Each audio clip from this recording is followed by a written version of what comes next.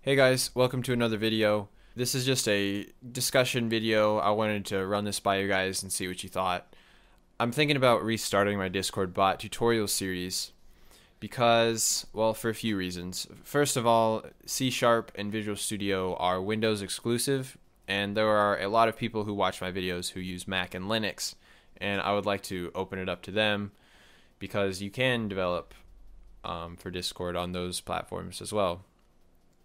Also, Discord.net, which is the library we've been using to make C Sharp Discord bot, is well, it's incomplete. And I don't blame the developers at all. They're working hard and they've made a great thing, but in its current state, it's unfinished.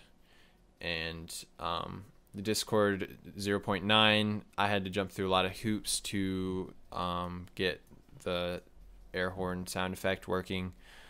Um, there's a lot of things that I had to figure out that were not documented, and the solutions I found weren't even um, on a Discord forum. It was just someone. Um, I, I don't know. It's it's.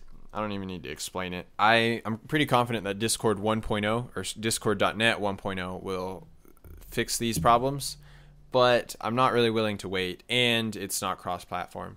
And also, the point of these tutorials was to be, you know, as simple as possible. And I think picking C sharp may have missed the mark. I think between like C sharp and C++, C sharp is simpler. But um, look at this. This is this is the discord.js GitHub page. Discord.js is a JavaScript library for Discord. This is an entire bot right here.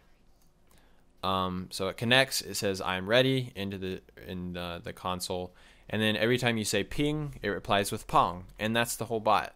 We we kind of made this bot in um, C sharp, but it took like two, possibly three videos, and um, it, it, took so much more code. Uh, but to be fair, Visual Studio did create a lot of the code, but this is just simpler to reason with, especially if you've never coded before like it's just less noise to, to work with.